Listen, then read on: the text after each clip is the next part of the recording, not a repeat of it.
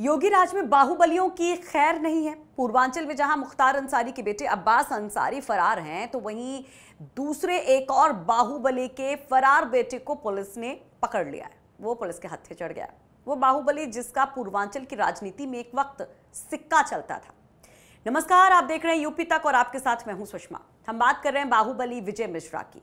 भदोही के पूर्व विधायक विजय मिश्रा के बेटे विष्णु मिश्रा को। एसटीएफ वाराणसी की टीम ने पुणे से गिरफ़्तार कर लिया है। उसे रविवार को देर शाम पुणे के पुलिस स्टेशन हड़पसर में गिरफ़्तार किया गया। और ये भी जानिए कि उसकी गिरफ्तारी से एक दिन पहले ही अपर पुलिस महानिदेशक वाराणसी ने उस पर एक लाख रुपए का इनाम घोषित किया था।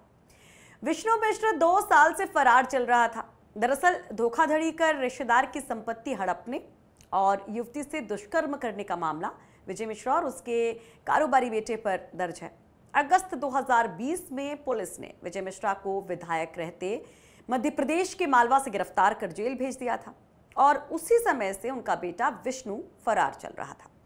विष्णु की गिरफ्तारी के लिए पुलिस जगह जगह खाक छानती रही और जब कामयाबी नहीं मिली तो पहले पच्चीस हज़ार का इनाम घोषित किया गया और बाद में उसे बढ़ाकर पचास हज़ार और अभी इस गिरफ्तारी से एक दिन पहले, यानी कि आज से दो दिन पहले, उसे एक लाख कर दिया गया।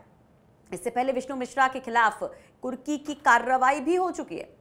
अब ये भी जान लीजिए कि एक वक्त ऐसा था जब विजय मिश्रा की पूर्वांचल के इलाके में तूती बोलती थी। विजय मिश्रा ज्ञानपुर विधानसभा से लगातार चार बार विधायक रहे।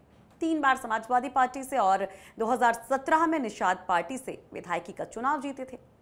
हालाँकि इस बार विजय मिश्रा ने जेल से चुनाव लड़ा था और वहाँ की लोकल पार्टी, प्रगतिशील मानव समाज पार्टी के उम्मीदवार थे और चुनाव हार गए थे। पांचवी बार विधायक बनने से वो चूक गए थे। उनकी पत्नी रामलाली मिश्रा मिर्जापुर सोनभद्र से एमएलसी रही हैं।